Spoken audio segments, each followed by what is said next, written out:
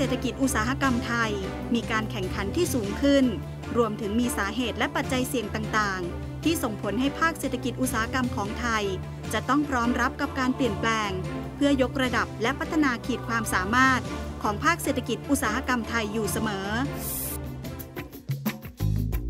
สำนักงานเศรษฐกิจอุตสาหกรรม หรือสอสออกระทรวงอุตสาหกรรม เป็นหน่วยงานในกลุ่มภารกิจด้านเศรษฐกิจอุตสาหกรรม ที่มีหน้าที่ในการจัดทำนโยบาย ยุทธศาสตร์ แผนงาน การเสนอแนะแนวทางมาตรการต่างๆ เพื่อให้การพัฒนาเศรษฐกิจอุตสาหกรรมของประเทศ เป็นไปในทิศทางที่ถูกต้องและเหมาะสมสำนักงานเศรษฐกิจอุตสาหกรรม ก่อตั้งขึ้นโดยกระทรวงอุตสาหกรรม ได้เสนอเรื่องต่อคณะรัฐมนตรี ให้ยกฐานะของกองเศรษฐกิจอุตสาหกรรม สำนักงานปลัดกระทรวงอุตสาหกรรม เป็นสำนักงานเทียบเท่ากรม พื่อเพิ่มขีดความสามารถในการปฏิบัติงานด้านนโยบาย และแผนพัฒนาอุตสาหกรรมให้มีประสิทธิภาพยิ่งขึ้น และคณะรัฐมนตรีได้มีมติเห็นชอบการจัดตั้งสำนักงานเศรษฐกิจอุตสาหกรรม โดยให้โอนงานของกองเศรษฐกิจอุตสาหกรรม และสำนักงานพัฒนาอุตสาหกรรมหลักเข้าด้วยกัน มีผลบังคับใช้ตั้งแต่วันที่ 5 กันยายน 2534 เป็นต้นมา และได้ถือเอาวันนี้เป็นวันก่อตั้งสำนักงาน ปัจจุบันสำนักงานเศรษฐกิจอุตสาหกรรม มีวิสัยทัศน์เป็นองค์กรชี้นำการพัฒนาอุตสาหกรรม อีกทั้งมีพันธกิจที่ครอบคลุมการพัฒนาอุตสาหกรรมในทุกด้าน ทั้งในด้านการจัดทำบูรณาการ ผลักดันนโยบาย และแผนยุทธศาสตร์ในการพัฒนาอุตสาหกรรม เพื่อเพิ่มมูลค่าและขีดความสามารถในการแข่งขันอย่างยั่งยืน จัดทำระบบสารสนเทศเศรษฐกิจอุตสาหกรรม ตัวชี้วัดสัญญาณเตือนภัยภาคอุตสาหกรรมที่ทันสมัย เชื่อถือได้ และบูรณาการเชื่อมโยงกับหน่วยงานต่างๆ ที่เกี่ยวข้อง รวมทั้งให้บริการเผยแพร่ และสร้างความเข้มแข็งในการเป็นองค์กรแห่งความรู้ด้านเศรษฐกิจอุตสาหกรรม ซึ่งมีโครงสร้างการแบ่งส่วนราชการและหน้าที่ความรับผิดชอบดังนี้ กลุ่มตรวจสอบภายใน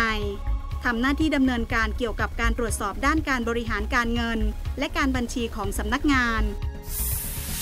กลุ่มพัฒนาระบบบริหารทำหน้าที่เสนอแนะ ให้คำปรึกษา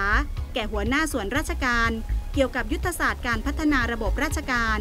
ติดตามประเมินผล จัดทำรายงาน ประสานและดำเนินการเกี่ยวกับการพัฒนาระบบราชการกับหน่วยงานกลางต่างๆ และหน่วยงานภายในของสำนักงาน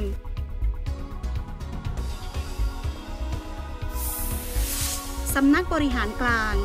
ดำเนินการเกี่ยวกับการบริหารทั่วไปของสำนักงาน การเงิน บัญชี งบประมาณ พัสดุ อาคารสถานที่ การบริหารงานบุคคล และการประชาสัมพันธ์เผยแพร่กิจการของสำนักงาน ศูนย์สารสนเทศเศรษฐกิจอุตสาหกรรมทำหน้าที่เกี่ยวกับการกำหนดนโยบายการสำรวจ การเก็บรักษา การใช้ประโยชน์ข้อมูลด้านเศรษฐกิจ จัดทำดัชนีผลผลิตอุตสาหกรรมในภาพรวมและรายสาขา และเป็นศูนย์ข้อมูลสารสนเทศด้านเศรษฐกิจอุตสาหกรรม สำนักนโยบายอุตสาหกรรมมหาภาคทำหน้าที่เสนอแนะนโยบาย แนวทาง มาตรการแผนพัฒนาอุตสาหกรรม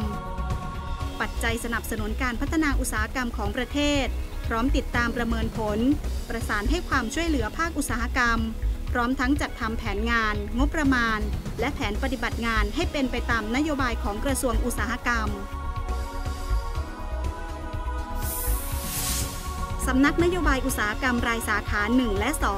2 ทำหน้าที่เสนอแนะนโยบาย แนวทาง มาตรการและแผนการพัฒนาอุตสาหกรรมรายสาขา รวมทั้งศึกษาวิเคราะห์ ติดตามสถานการณ์ คาดการแนวโน้มและเตือนภัยอุตสาหกรรม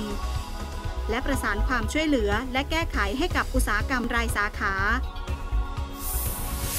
สำนักวิจัยเศรษฐกิจอุตสาหกรรมทำหน้าที่จัดหา